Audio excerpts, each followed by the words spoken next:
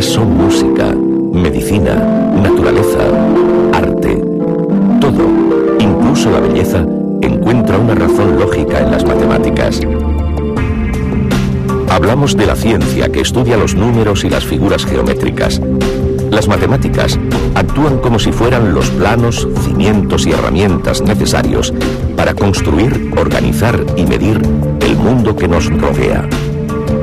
Las matemáticas nos han enseñado que toda realidad encierra un cierto orden y a veces desorden. Gracias a las matemáticas podemos vivir en un mundo lleno de avances y comodidades apenas soñados hace unas décadas.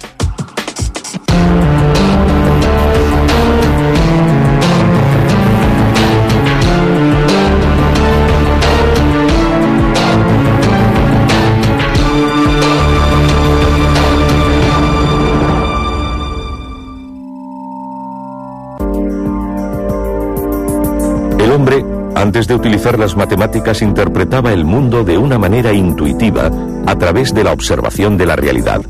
Pero sin duda, el verdadero avance de las ciencias surgió cuando el hombre se aventuró a ir más allá de lo observado. El lenguaje matemático permitió descubrir lo que había más allá de lo que se aprecia a simple vista.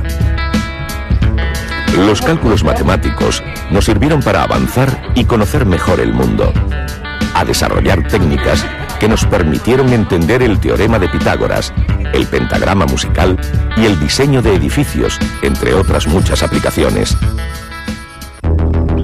Vamos a descubrir cómo las matemáticas forman la base de la arquitectura y de la cartografía. Descubriremos que las matemáticas son también electrónica y computación. Veremos la razón matemática que se esconde detrás de la belleza de muchos monumentos andaluces descubriremos que todas las manifestaciones artísticas encierran una lógica y orden matemático. Las matemáticas en ningún caso son frías y aburridas. Al igual que la música, las matemáticas están llenas de ritmos, estilos y compases.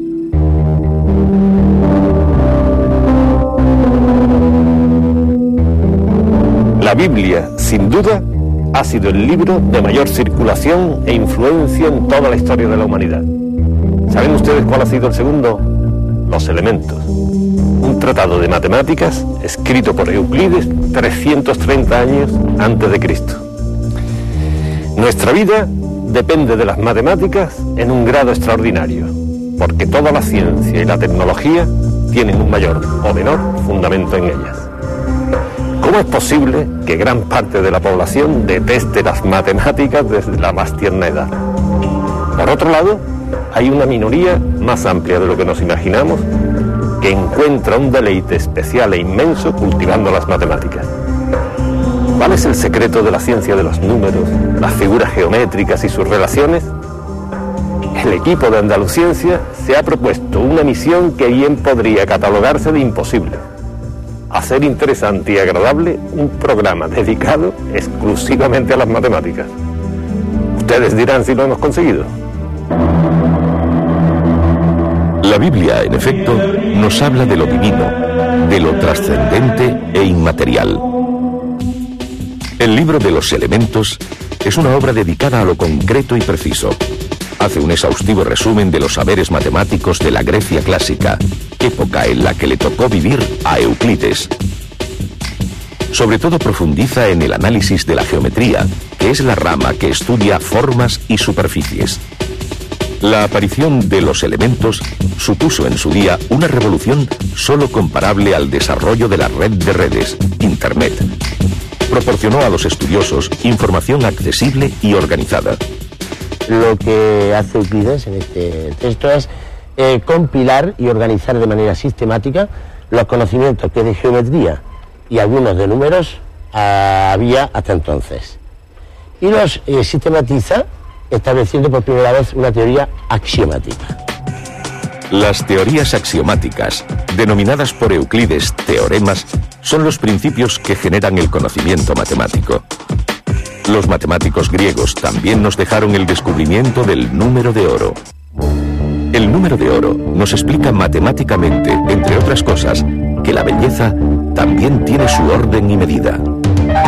La sección áurea o relación áurea es la relación que se establece entre dos magnitudes, de tal manera que la relación que existe entre la menor y la mayor es exactamente igual que la de la mayor a la suma de ambos. Esta relación áurea se expresa por el número de oro y podemos ver un ejemplo aquí. Estas tarjetas de crédito, en definitiva, tienen la sección o la relación áurea, lo cual quiere decir que esta magnitud, que es la pequeña, si la dividimos por esta, que es la mayor, nos da exactamente lo mismo que la mayor dividida por la suma de ambas. Y esta relación, esta división, nos da 1,6180, etcétera, con infinitos decimales, número que se conoce como número de oro. Esta sección áurea es una relación matemática que está presente en la fisonomía del ser humano. El hombre utiliza este número áureo en sus creaciones artísticas y en el concepto de armonía. Las notas musicales y la forma de representarlas tienen su origen en la razón áurea. Escuchemos las siguientes notas. Estos sonidos en música se reconocen como armónicos. De su disposición dependerá que resulten agradables y relajantes.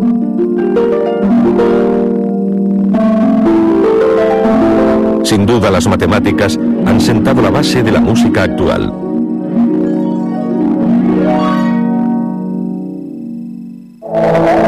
Aparentemente las matemáticas pueden resultarnos frías e inertes, grises y monótonas. Nada más lejos de la realidad que analizan. Las biografías de matemáticos ilustres demuestran que su vida era como la de cualquiera, con alegrías, angustias y esfuerzos. Investigadores que cuentan con una intuición portentosa y un interés desmedido por conocer el mundo. Jóvenes como Évariste Galois, que con tan solo 20 años tuvo tiempo para desarrollar la teoría de grupos, justamente la noche antes de morir en duelo. Galois y su teoría permitió la resolución de ecuaciones cuya incógnita está elevada a potencias superiores a 5, estos estudios matemáticos han empujado el desarrollo de saberes muy diversos. En psicología y sociología resultan fundamentales. Seguramente Einstein es el físico más conocido del siglo XX. Muchos piensan que sus esplendorosas teorías, al estar expresadas matemáticamente, son inextricables. Sin embargo, todos estamos acostumbrados a la tecnología que se desprende de ellas el láser, la energía nuclear, las células fotoeléctricas, la televisión. ¿Son realmente tan complicadas las matemáticas? ¿Sirven para algo más que para martirizarnos en la escuela y el instituto? ¿Podemos, por el contrario, encontrar placer y diversión en ellas?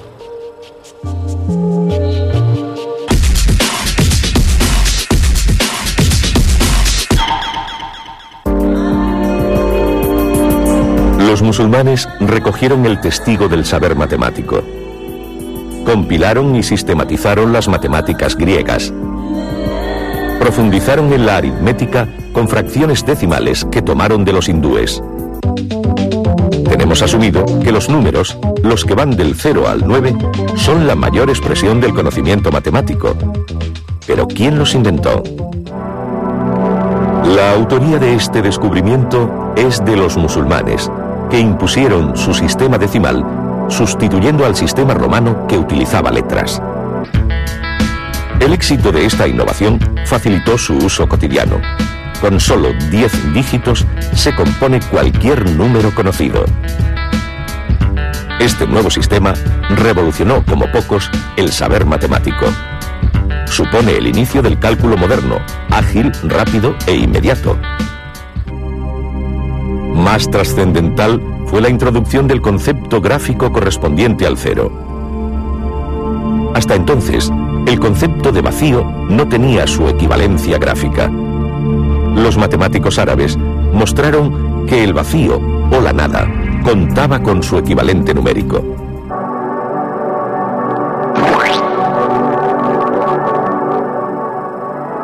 Los árabes pusieron todo el saber matemático al servicio de la arquitectura en la Alhambra de Granada se encuentra su mayor exponente.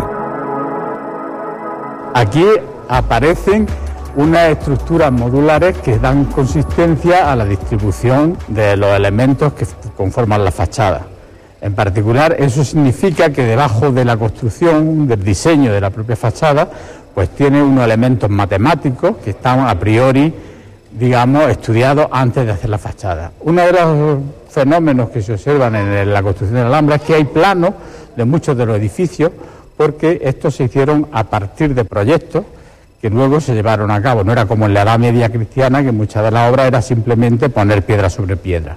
Curiosamente, la persona que hacía estos diseños recibía el nombre de el matemático. No era que en la versión actual se llamaría el arquitecto o el aparejador. Quizás más el aparejador porque es el que realiza los cálculos necesarios para llevar la, la estructura. Los mosaicos decorativos de la Alhambra encierran conceptos matemáticos complejos. En especial, el concepto de infinito. A través de los mosaicos se puede tener un concepto de infinito, ya que son trozos de pared que están decorados de manera que si se pueden reproducir a sí mismos, adosándose unos junto a otros, y llegar a toda la extensión de un plano. Entonces la idea es que a partir de un trozo pequeño, de un trozo finito, por reproducción de sí mismo, de partes que son iguales a sí mismas, llega a cubrir todo hasta el infinito del plano euclídeo. Mientras el mundo cristiano languidecía en los siglos oscuros de la Edad Media, el Islam resplandecía. Los musulmanes habían tomado la antorcha de la ciencia de la antigüedad, la avivaron y la transmitieron a la Europa del Renacimiento. La Alhambra de Granada es seguramente el monumento más bello de aquella época dorada de los árabes. Siendo Al-Ándalus una de sus sociedades más cultas, ¿Cómo iban a dejar de reflejar la ciencia en el embrujo de su más insigne monumento?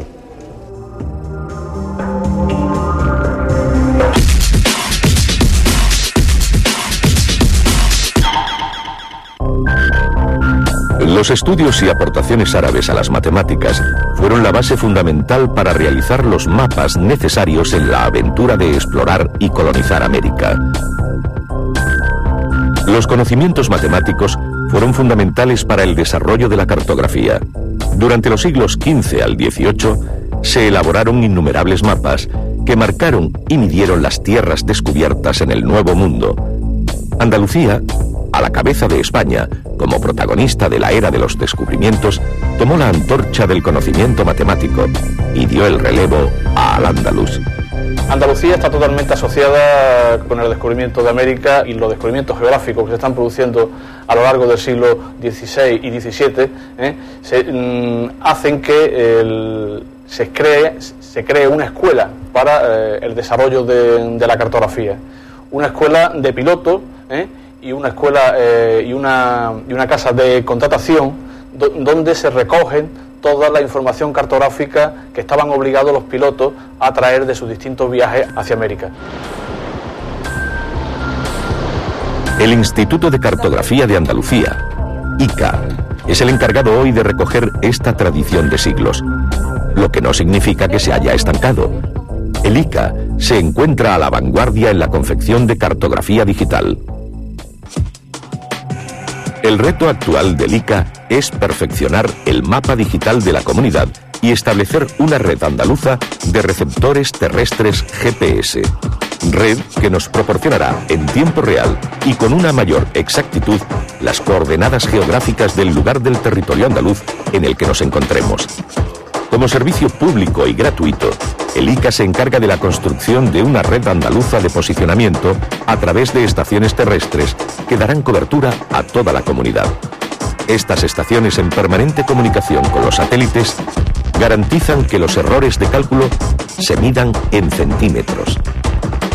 La RAD es acrónimo de Red de Andaluza de Posicionamiento. Esto no son más que, bueno, será dentro de poco 22 eh, estaciones GPS ubicadas homogéneamente a lo largo de todo el territorio andaluz. Estas estaciones GPS están en continuo recibiendo datos GPS y enviándolos a un centro de control que estará ubicado en Sevilla, eh, que recoge esas informaciones de esos datos, las trata y las revisa. Los cartógrafos, hasta ahora, han elaborado mapas a través de puntos de referencia fijos, pero utilizando instrumental de medida diverso. Esto ha supuesto que aun midiendo lo mismo, los mapas no sean todos exactamente iguales. Pues estamos llegando a un sitio en que, en un momento en que el Instituto de Cartografía se está dando cuenta que no todas las cartografías encajan como deben encajar. Eh, a partir de tener la RAD, lo que vamos a hacer es tener un único marco y a partir de entonces toda la cartografía levantada con ese único marco debe encajar perfectamente.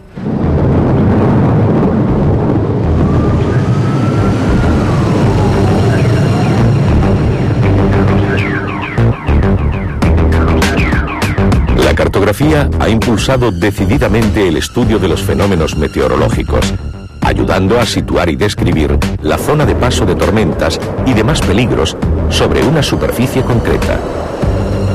Saber el lugar de paso no es suficiente. Necesitamos también conocer cuál es el comportamiento de estos fenómenos atmosféricos. Para ello, recurrimos también a las matemáticas, es la teoría del caos la que nos ayuda a saber cuál será el movimiento de huracanes y tormentas. La teoría del caos se centra en el estudio de los sistemas no ordenados. La característica principal de un sistema caótico es la inestabilidad del mismo. Una pequeña variación en el sistema puede provocar consecuencias imprevisibles. Esto complica enormemente el poder calcular y predecir su comportamiento. Este tipo de, sistemas se llaman sistemas caóticos. Y la teoría del caos se ocupa, paradójicamente, de buscar algún tipo de orden en ese caos. Podríamos explicar quizá un ejemplo del tipo de orden que se puede encontrar. Pensemos en una costa abrupta, como por ejemplo las Rías Gallegas Altas. Si uno toma una foto aérea desde muy alto, eh, ve un dibujo sin ningún orden aparente. Si vuelve a tomar fotos mucho más bajas, desde mucho más bajo, ve eh, prácticamente la misma configuración. De manera que los pequeños salientes y entrantes, los pequeños cabos y ensenadas, forman, son figuras que forman uniéndose otras figuras semejantes pero mucho más grandes. La complicación en los cálculos para profundizar en el análisis de este tipo de sistema nos obliga a contar con herramientas acordes, como son los superordenadores. Estas gigantes máquinas informáticas han sido construidas gracias a los avances teóricos y experimentales de las matemáticas durante el pasado siglo XX. Su potencia se ha puesto al servicio del seguimiento y predicción de fenómenos atmosféricos. Asimismo, se han usado en la demostración empírica de multitud de teorías que revolucionaron el mundo, entre ellas la de la relatividad. El método ideal es construir primero mediante ordenador el modelo teórico que necesita. Mediante el método de los elementos, finitos puede, eh, puede estudiar el comportamiento de este prototipo ante todas las posibles situaciones. Las matemáticas han dado respuestas prácticas al hombre desde siempre. Nos informan con precisión del lugar donde nos encontramos y a su vez nos indican dónde poder dirigirnos para evitar los peligros de la madre naturaleza.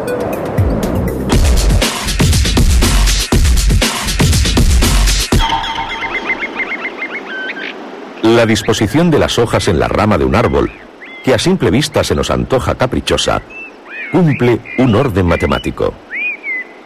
Leonardo da Vinci descubrió ya, y está publicado en su Tratato de la Pintura, publicado en París en 1551, eh, descubrió que la filotaxis, es decir, la inserción de las hojas en los tallos, se puede expresar por un número quebrado, y este número quebrado indica la existencia de una helicoide generatriz que pasa por todos los puntos de inserción alrededor del tallo, cuyo numerador indica el número de vueltas de espira que hay que hacer para encontrar una hoja exactamente debajo de la otra, y por otro lado, en el denominador se indica el número de hojas que se encuentran en este trayecto. Esta disposición de las hojas optimiza la fotosíntesis. El límite del quebrado es la sección áurea y esta relación la encontramos presente en todos los órdenes de la naturaleza. En la fisonomía de los seres vivos, racionales e irracionales. incluso en los objetos inanimados como las rocas y los minerales. También en el agua y en los copos de nieve encontramos la razón áurea. Si el orden natural de las cosas puede expresarse numéricamente, ¿cómo iba a dejar el hombre de plasmarlo en sus creaciones artísticas?